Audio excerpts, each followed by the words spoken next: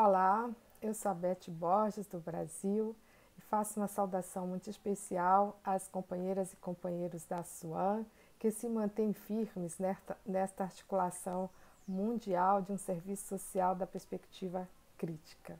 Agradeço especialmente a confiança da indicação do meu nome, que acredito se deve sobretudo pelo lugar que ocupo na gestão do Conselho Federal de Serviço Social, uma entidade que se conduz pela direção de um projeto ético-político e que representa o serviço social brasileiro.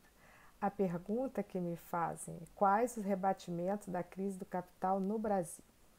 Em brevíssimas palavras, podemos demarcar a crise do capitalismo como parte da dinâmica da reprodução do capital, que vem dando seus últimos suspiros com a possibilidade de um colapso do seu modo de produção e contra-ataca com a hegemonia do capital financeiro e rentista.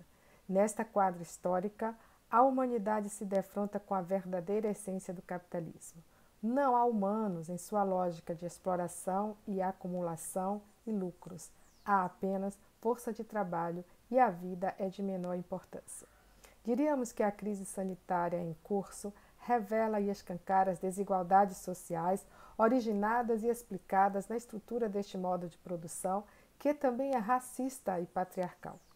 Esta sociabilidade, construída pela dominação de classe e da exploração, torna mais dramáticos os efeitos de uma pandemia que vai ganhando a dimensão de uma tragédia para a humanidade, na medida em que a preocupação dos governos está sendo salvar a economia para manter os altos níveis de lucratividade e concentração de riqueza. Os mais ricos continuaram a se beneficiar da própria pandemia e do sofrimento da classe trabalhadora, a julgar pela lucratividade dos setores produtivos mais necessários no momento, a exemplo da indústria de alimentos, farmacêutica, de insumos e equipamentos hospitalares, dentre outros. No Brasil, o modelo capitalista dependente tem um histórico de violência e indiferença para com os mais pobres desde sua origem. As elites brasileiras são perversas, demonstrado pela brutal desigualdade social e econômica que só se aprofunda. Ao longo deste período de pandemia, a luta de classe se intensifica e o impacto violento à população negra e pobre pode ser visto nos cemitérios, nas filas dos hospitais e da Caixa Econômica Federal. Na nossa realidade atual, o quadro é assustador e nos desafia cotidianamente na urgência da defesa da vida, dos nossos corpos e, simultaneamente, a luta pela retomada de um projeto civilizatório para o país que recupere o sonho de futuro, como é próprio da alma da política. O que acontece em nossa sociedade no contexto atual é revelador da barbárie que se instalou com a ascensão de um governante que se elegeu com base na exaltação da desrazão, da anticiência, nas violências e nos preconceitos. Enquanto isso, as milhares de mortes é a dor e a vergonha do nosso triste país no momento. Diríamos que, fruto da errática condução atual, que combina o neoconservadorismo com o ultraneoliberalismo, demarcamos em grandes ângulos os problemas do Brasil contemporâneo. A destruição da flora e fauna do Pantanal, a devastação da Amazônia, a região norte em colapso do sistema de saúde, povos indígenas sofrendo etnocídio, a população negra atacada com superencarceramento e a violência institucional, diversos ataques à autonomia reprodutiva das mulheres, aumento da população em situação de rua e sob constante ameaça de mortificação, aumento da precarização do trabalho e congelamento dos investimentos na área social, o desmonte da política de assistência social, tentativa de privatização da política de saúde, o sistemático ataque aos direitos humanos e, nos últimos dias, o congelamento dos salários de servidores públicos por 15 anos, como condição para pagamento do auxílio emergencial aos mais pobres. Ou seja, algumas conquistas sociais que o Brasil implementou na tentativa de democratização desta sociedade historicamente desigual vêm sendo brutalmente vilipendiadas. Retorna sem máscara o massacre das populações consideradas desimportantes, indígenas, negros, negras, pobres, miseráveis, moradores em situação de rua, com um discurso eugenista. O tamanho dessa desigualdade social é revelado pelas estatísticas que dizem são 14 milhões de desempregados e mais de 40 milhões de trabalhadores na informalidade, para dizer o mínimo. Terão consequências desastrosas a desarticulação do Sistema Único de Saúde, dos programas sociais do Sistema Único da Assistência Social, da pesquisa e da universidade, a contenção de gastos públicos, a contrarreforma da Previdência, a redução de salários e agora os crimes de responsabilidade que se avolumaram no modo de não enfrentamento da propagação da Covid-19. No plano econômico, é um fracasso e não há como recuperar a economia com alto índice de desemprego, desaceleração do consumo e o desinvestimento público.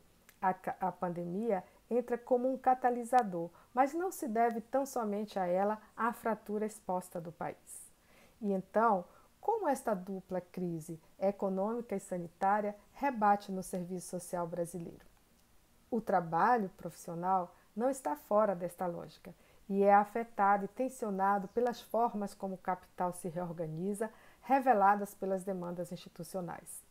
A necessidade do isolamento social, o medo do desconhecido e da catástrofe humana fizeram a categoria de assistentes sociais lidar com algumas questões. O significado de ser parte integrante da classe trabalhadora, que passou a sofrer com a truculência do trabalho precarizado e informalizado as solicitações inadequadas e abusivas de gestores e empregadores de assistentes sociais que só expressam as tentativas de retiradas de direitos da população trabalhadora.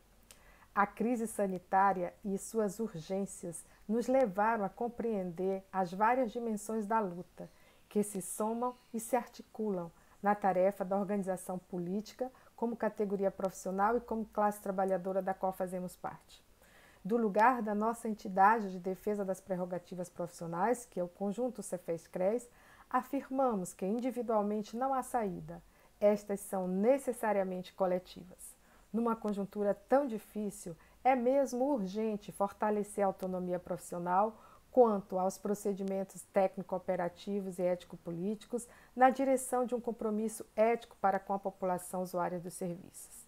E registramos com pesar as muitas colegas que perdemos para a Covid, vidas dedicadas a dar dignidade ao povo pobre e sofrido.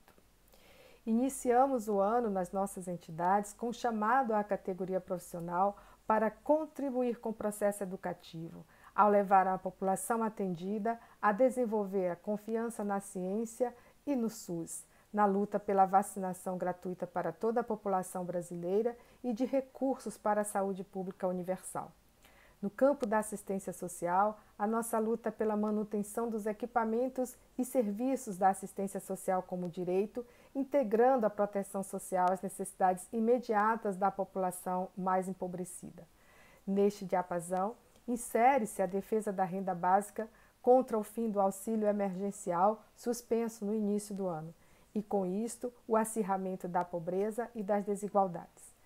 Na previdência social, segue a nossa luta de assistentes sociais para minimizar o desigual acesso digital, pela manutenção de critérios não excludentes no acesso a serviços e benefícios e pela manutenção da estrutura de atendimento do serviço social como parte do direito previdenciário.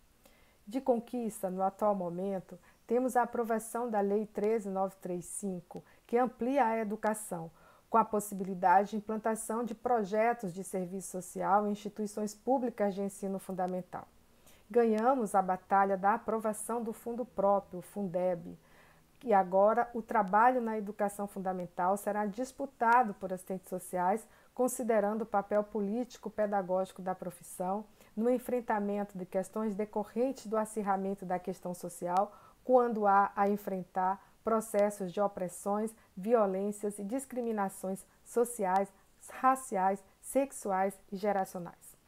Nossas estratégias de entidades do serviço social é no enfrentamento da barbárie instalada, que passam por articulações entre entidades da profissão, com entidades da Seguridade Social, com ações conjuntas né, com entidades na defesa dos direitos humanos, ações conjuntas e articuladas do próprio conjunto Cefes-CRES para a divulgação da profissão, aprimoramento de resoluções e normativas, processos de qualificação e formação profissional. e também articulações sindicais e com trabalhadores sociais de outros países, com especial destaque à América Latina, para dar respostas consistentes e coerentes à altura dos desafios do tempo presente, na direção de um projeto ético-político. Falamos aqui de uma América Latina que luta e resiste contra toda forma de opressão e da denúncia das várias formas de violência e de impedimento da livre expressão de nossas diferenças. Com isto, apostamos na unidade das esquerdas, na perspectiva de avançar no patamar civilizatório e emancipatório. E esta é a nossa luta, este é o nosso chamado e que sigamos em rede, sigamos juntos, sigamos apostando nas condições de um projeto ético-político profissional. É na luta, é no enfrentamento que ele se afirma, se reafirma e se faz necessário. Parabéns, colegas!